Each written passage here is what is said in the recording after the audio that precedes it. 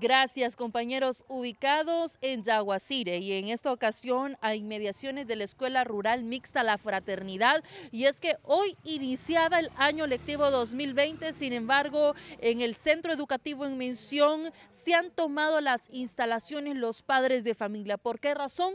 Nos explica la presidenta de la Asociación de Padres de Familia, Katia Moncada. Muy buen día. Muy buenos días, aquí verdad, poniendo la denuncia que nosotros hemos ido a la distrital, a la departamental, a transparencia y a fondos propios, pero no nos han resuelto nada. Nosotros queremos cambio de directora. Han habido muchos problemas aquí en la escuela, padres que han sido humillados, eh, alumnos que han tenido bullying sobre ella, Em, queremos un cambio de directora. Es lo que exigimos a las autoridades que nos manden nuevo director. No queremos ningún maestro que quede de director, sino que nos manden director de allá.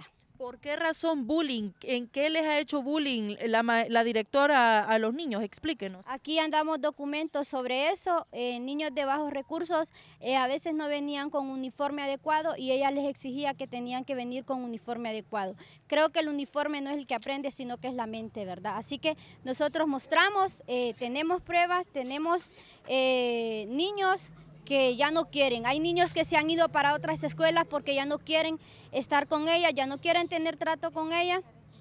Y así que nosotros exigimos que los niños no se vayan para otra escuela, sino que queremos cambio de directora. Esta toma es de manera indefinida y ¿cómo se llama? ¿Quién es la directora? ¿El nombre de la directora? La directora es la, eh, Betty Zulema Berríos. ¿Indefinida la toma?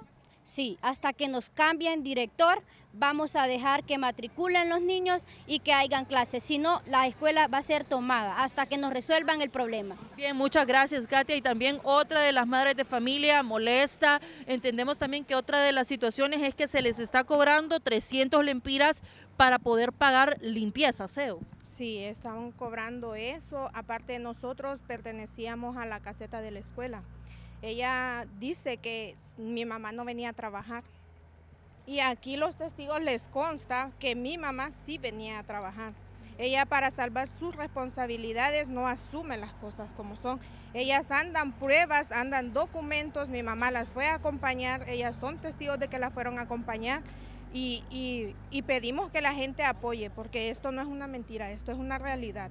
Ella hacía bullying y nosotros estamos adentro de la escuela y lo sabemos. Bien, muchas gracias. Eh, estas son las razones por las cuales padres de familia se han tomado las instalaciones de este centro mixto rural La Fraternidad aquí en Yaguacire. Si tiene algo más que agregar usted, entiendo que es del área de mantenimiento. Sí, buenos días, ¿verdad? Todos. Pero eh, lo que dice ahí el papel es muy cierto, fui aseadora, porque no solo una vez a mí me sacó a la calle ella a decir que yo hablaba de ella.